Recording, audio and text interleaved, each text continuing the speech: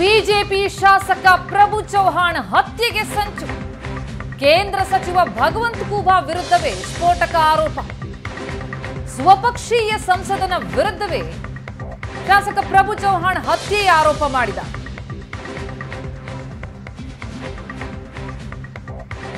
ಗುಂಡಾಗಳಿಂದ ನನ್ನನ್ನ ಗುಂಡಿಕ್ಕಿ ಹತ್ಯೆ ಮಾಡಲು ಸಂಚು ನಡೆದಿದೆ.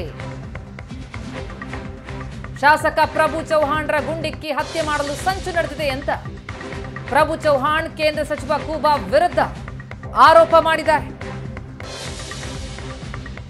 ಸ್ವಪಕ್ಷೀಯ ಸಂಸದನ ವಿರುದ್ಧವೇ ಪ್ರಭು ಚೌಹಾಣ್ ಹತ್ಯೆಯ ಆರೋಪ ಮಾಡಿದ್ದಾರೆ ಹತ್ಯೆ ಮಾಡೋದಕ್ಕೆ ಸಂಚು ರೂಪಿಸ್ತಾ ಇದ್ದಾರೆ ಅಂತ ಆರೋಪಿಸಿದ್ದಾರೆ अब मैं अजय दुश्मन है तो मुझे उड़ा दे तेरे साथ में गुंडा और लोग गुंडे लोग घूम रहा है तुम और कब फोन करके बुलाया करते छह महीने में हम बाइलेक्शन करेंगे प्रभु चौहान कैसा करेंगे? रोड पे रोड पे होके गोली मारते रहे उसको। ऐसा? इतना इतना तुम इतना, रोड पे घूम के, तेरे साथ में गुंडे, भैया गुंडे ब्रोकर है, मार सकता है, मार दे। अब मैं अजय दुश्मन है तो मुझे उड़ा दे। तेरे साथ में गुंडा और गुंडे लोग घूम रहा है तुम, और कब फ़ोन करके बुलाया करते, छह महीने में हम बाइलेक्शन करेंगे प्रभु चौहान अब मैं अजय दुश्मन है तो मुझे उड़ा दे।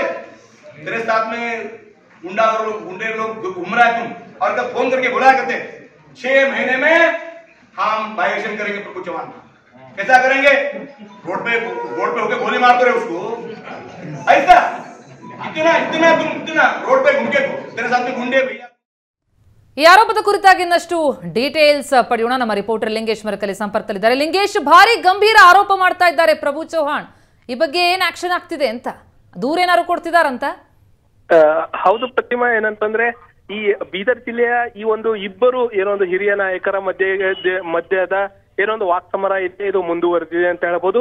ಇತ್ತೀಚೆಗೆ ಏನೊಂದು ಭಗವಂತ ಖೂಬಾ ಅವರು ಒಂದು ಕೇಂದ್ರ ಸರ್ಕಾರದ ಕಾರ್ಯಕ್ರಮ ಒಂದ ಒಂದರಲ್ಲಿ ಪ್ರಭು ಚವ್ಹಾಣ್ ವಿರುದ್ಧ ವಾಕ್ಸಮರ ಮಾಡಿದ್ರು. ಏನಂತಂದ್ರೆ ಪ್ರಭು ಚವ್ಹಾಣ್ ಅವರು ಬಹಳ ಬಾಳ ಬಹಳ ಲಕ್ಕಿ ಇದ್ದಾರೆ ಡೈರೆಕ್ಟ್ ಆಗಿ ಮುಂಬೈನಿಂದ ಅವಳರಿಗೆ ಬಂದು ಒಂದೇ ತಿಂಗಳಲ್ಲಿ ಟಿಕೆಟ್ ತಗೊ, ತಗೊಂಡು ಏನಂತಂದ್ರೆ ಎಂ ಎಲ್ ಎ ಆಗಿದ್ರು.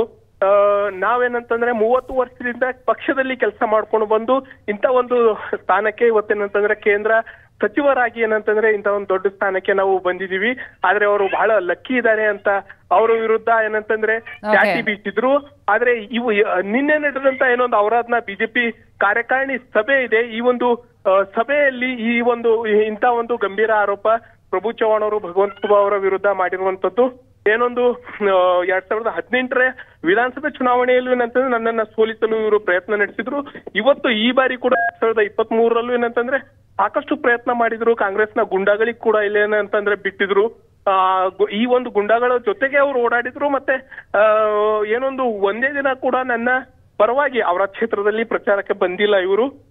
ಈಗ ಅವರ ಶತ ಪ್ರಯತ್ನದ ನಂತರವೂ ಏನಂತಂದ್ರೆ ನಾನು ಗೆದ್ದು ಬಿಗಿದ್ದೇನೆ. ಹೀಗಾಗಿ ಈಗ ಏನಂತಂದ್ರೆ ನನ್ನನ್ನ ಹತ್ಯೆ ಮಾಡಿ ಇವ್ರೇನಂತಂದ್ರೆ ಉಪಚುನಾವಣೆ ಮಾಡಲು ಪ್ರಯತ್ನ ಮಾಡ್ತಾ ಇದ್ದಾರೆ ಅಂತ. ಇಂಥ ಒಂದು ದೊಡ್ಡ ಗಂಭೀರ ಆರೋಪ ಮಾಡಿರುವಂತದ್ದು ಈ ಬಗ್ಗೆ ಇಲ್ಲಿವರೆಗೂ ಏನಂತಂದ್ರೆ ಭಗವಂತ್ ಕೋಬಾ ಅವರು ಯಾವುದೇ ರೀತಿಯಾದಂತಹ ಪ್ರತಿಕ್ರಿಯೆ ನೀಡಿಲ್ಲ ಥ್ಯಾಂಕ್ ಯು ಲಿಂಗೇಶ್ ತಮ್ಮೆಲ್ಲ ಮಾಹಿತಿಗೆ.